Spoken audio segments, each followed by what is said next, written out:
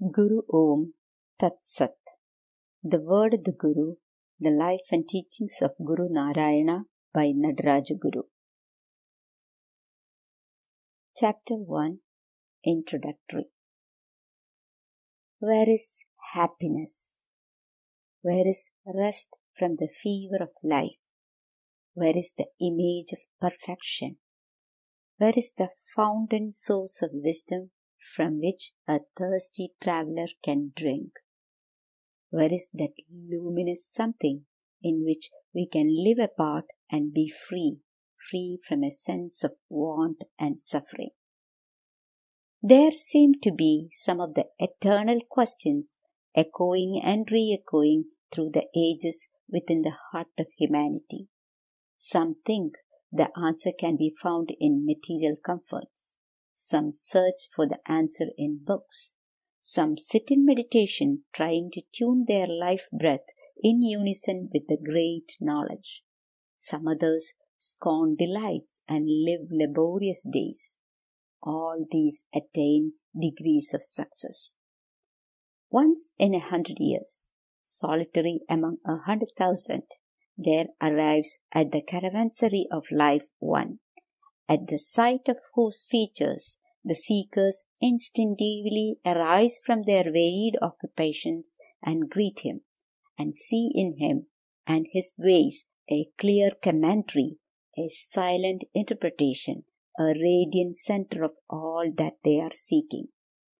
He is able to dispel age long doubt and darkness by his words and the hearers smile and for a moment feel a strange happiness.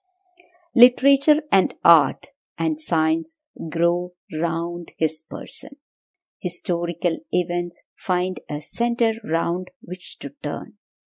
Narayana Guru was one of such. He was one of those who followed in his life the ancient and immemorial program of Oriental saints and prophets. He left his home in search of truth. He lived in a lonely hill, cave, or forest for years unknown to men, performing tapas. He emerged from seclusion, having solved some great riddle in life, and he wanted to give his solution to the world at large. Therefore, without any sort of hesitation whatever, he called himself a guru or teacher. Penniless himself, he began to command an influence over rich and poor, educated and uneducated. People flocked to take the dust of his feet. Today, his words are recognized as a most modern echo of the ancient wisdom of the Orient. In him we had, combined once again, a bard who sang about the aspirations of the soul of man, a philanthropist whose one aim in life, night and day, was to devise ways to minimize human suffering, and a seer whose daily food and drink was the highest form of truth.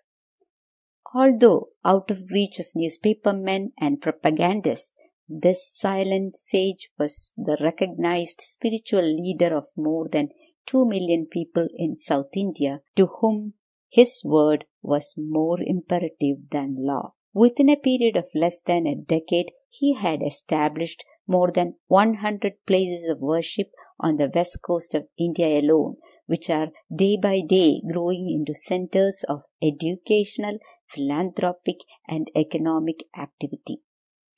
Crowded meetings are held in which his name is the unifying element.